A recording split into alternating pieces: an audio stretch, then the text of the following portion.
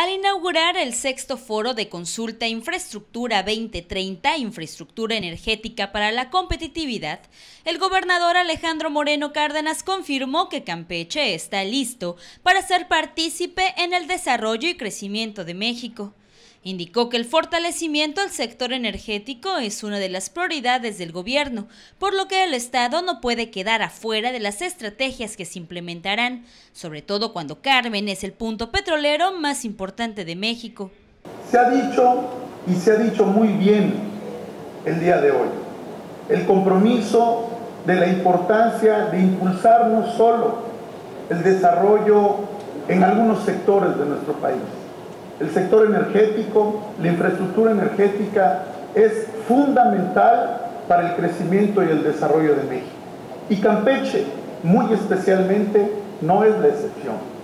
Carmen y Campeche son el municipio y el estado petrolero. Señaló que aunque la relación con petróleos mexicanos ha existido por más de 30 años, durante los últimos dos y a raíz del declive en la producción del crudo, se intensificaron las negociaciones con Pemex con la intención de demostrar que en Campeche existe experiencia, proyectos y rumbo. También para los campechanos es muy importante tener una relación estrecha con petróleos mexicanos.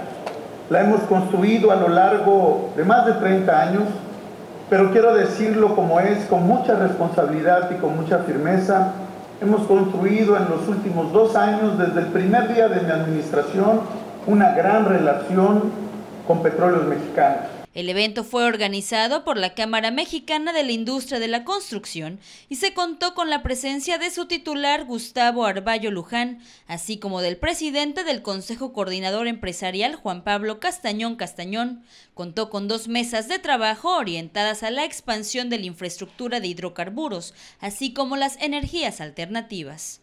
Con imágenes de Omar Barrera y Manuel Uc para Telemar Noticias, Valeria Soto Olivas.